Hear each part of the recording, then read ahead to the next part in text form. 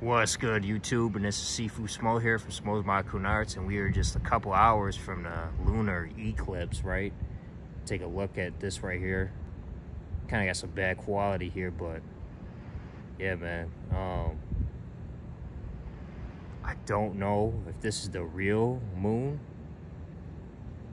but I'm just gonna tell you right now, man. The lunar eclipse is bullshit.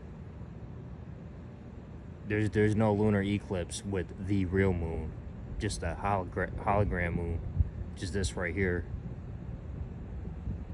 All right, I'll be back with the part two of the fake lunar eclipse bullshit moon. Smo's Marcoon Arts.